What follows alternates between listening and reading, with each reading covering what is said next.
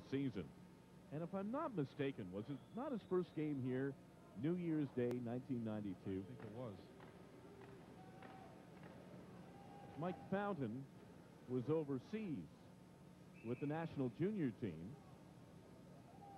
He certainly he's had a he's had a storied OHL career for a guy who's classified as a rookie this year. I'll tell you that much.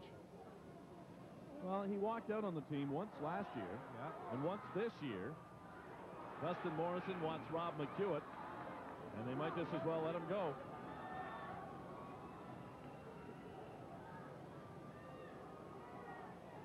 On fire with the helmets on. Oops, there goes Morrison. And Dustin will battle on.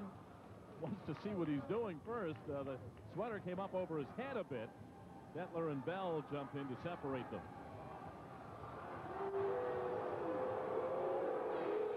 That's frustration on the part of uh, Justin Morris. He deems there to be an aggressor or an instigator in this case. That's how it started. Little bump. Yeah, Morrison, uh, he's the one who got the extra shot in to start things off. And you're right, it's frustration. And there's the reason why.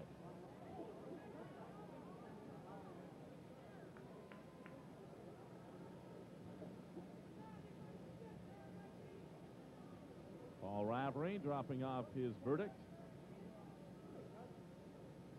And Rick Cornacchia has to be delighted with what's happening here.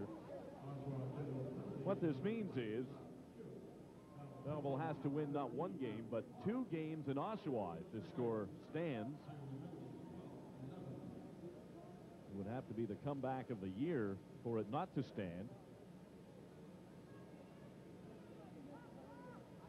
So the task will not be easy, and they're in Oshawa tomorrow night. We'll have it for you in CJBQ beginning at 7.15. Many a time this year, Tom, when you and I have gone on radio on the road this year and